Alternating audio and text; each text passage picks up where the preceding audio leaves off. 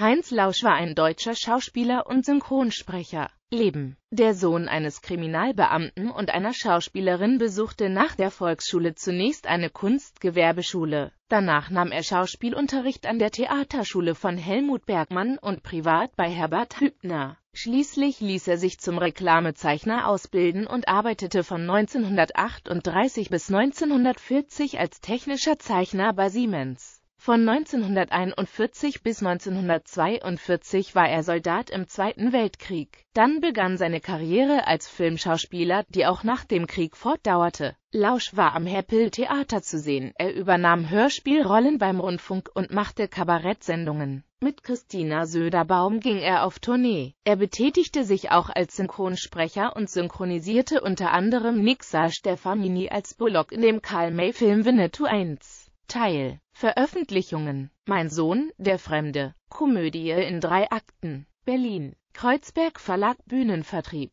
1947 Filmografie